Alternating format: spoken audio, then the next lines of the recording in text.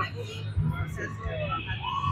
Eduardo, que lo conozco desde que era un chiquillo, y Victoria me llamó, acompáñame, por favor, y ahí vengo de pata caliente con ella. Estábamos preguntando del TikTok que se hizo famoso donde le dice que si no yo llorara tan bonito se moriría de hambre. Ah. Pero usted baila bien feo, dice. Fue muy fácil, lo que lo hicimos, fue invento de las dos.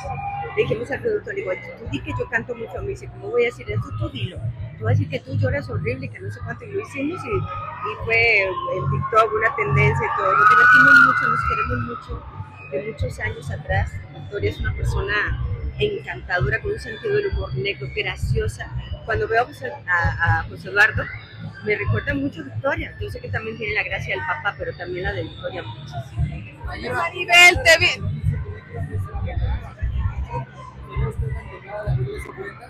Ay, no. no, no, no, que vaya, que vaya con Erika.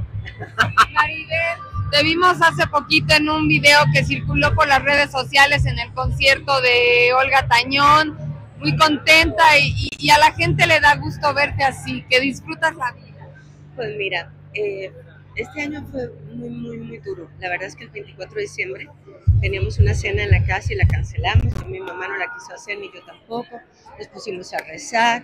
El 31, que estábamos en el barco, nos subimos, eh, dieron en las 12 y ya me bajé yo con Marco y el bebé al cuarto porque pues, no dan ganas de celebrar nada, la verdad.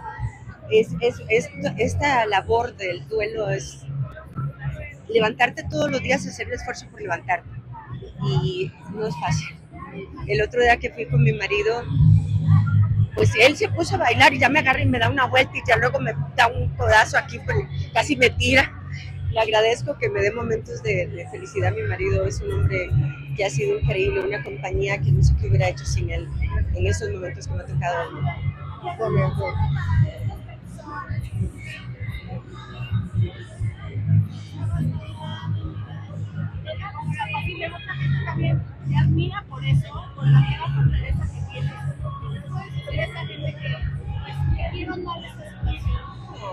Mira, me, me quedo siempre con lo bueno. Siempre habrá gente que critique. Pero bueno, ojalá que nunca les toque pasar por lo que yo estoy pasando. Yo tengo una, un, amigo de Julián que hace muchísimos años se suicidó y su mamá se suicidó 10 años después.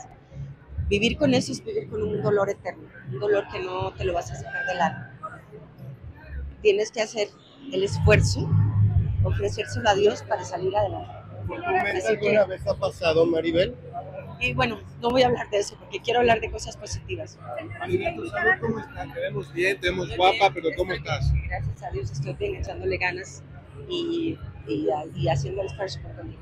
Señora, si le invitaran a dar algunas pláticas o a apoyar a, a mujeres o a personas que pasan por lo mismo que usted, ¿lo haría? Mira, lo que pasa es que en mi Instagram nos apoyamos entre madres, o sea, es increíble todas las mamás que me escriben que han pasado por lo mismo y de verdad que nos, apoyamos entre todas y yo agradezco ese apoyo que me han dado, que me han hecho sentir que no estoy sola, que este dolor no es mío, que es un dolor que han pasado tantas mujeres que quisiera yo que nunca ninguna madre pasara por esto. Pero es un consuelo saber que ellas saben lo que yo siento. Por ejemplo, a la única que le he dado una entrevista fue a Matilde Obregón, porque Matilde acaba de perder a su hijo y eran de la misma edad.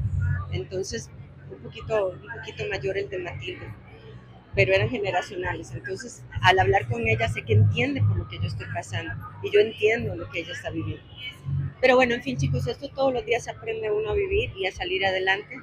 Y ojalá que todas las personas que han tenido una pérdida así puedan salir adelante, ofrecérselo a Dios, ofrecérselo a la persona que, que, que perdiste, que sabes que lo que quieres es que tú estés bien. No es fácil, es muy doloroso. Maribel, también qué le dirías a las personas que dicen que ya deberías desprenderte de las. Pues mira, a veces lo pienso, pero luego digo no, no puedo. O sea, estoy feliz de tenerlo ahí. Voy a comprar un nicho en la iglesia para si algún día yo me muero, que nos pongan ahí a los dos. Ya uno que no se muere, que lo tiran a donde sea, pero, pero a mí que me tiren con Julián. Ya le encargué eso a mi esposo, que seguramente espero yo morirme primero que él, porque le dije que si se muere él lo mato. ¿Considerarías adoptar, Maribel? ¿Considerarías adoptarlo? No, pero yo porque voy a adoptar. Tal vez, a lo mejor. No, yo tengo, mira, yo tengo una cosa que se llama Ministerios de Amor, que son niños de la calle que tú eh, a- a- les das un dinerito, los vas a ver, te dan amor, sabes que son niños que van a crecer ahí, que se van a graduar ahí, que son una familia y hay muchas maneras de ayudar. Hay también en Costa Rica un padre que se dedica a obras del Espíritu Santo que son puros niños de eh, pobres y abandonados y sabes que sientes tanto amor cuando estás con esos niños que yo no necesito crear un niño, sé que puedo ayudar a muchos. Mira, con ellos precisamente en Costa. Sí, Rica, ¿no? estuve con ellos en Costa Rica, la labor que hace. Hay gente que se dedica como Mami Ceci aquí en México y el padre Sergio en Costa Rica y tanta gente que de verdad tiene un corazón de oro que puedes cambiar la vida de tantos niños. Yo no necesito tener otro hijo, ya tuve un hijo maravilloso y sé que puedo tener muchos hijos aquí en México y en Costa Rica y en Centroamérica y en cualquier parte del mundo. Muchas gracias, Maribel.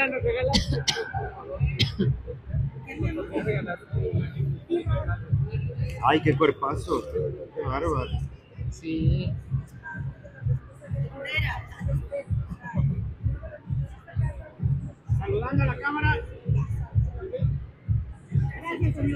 Gracias.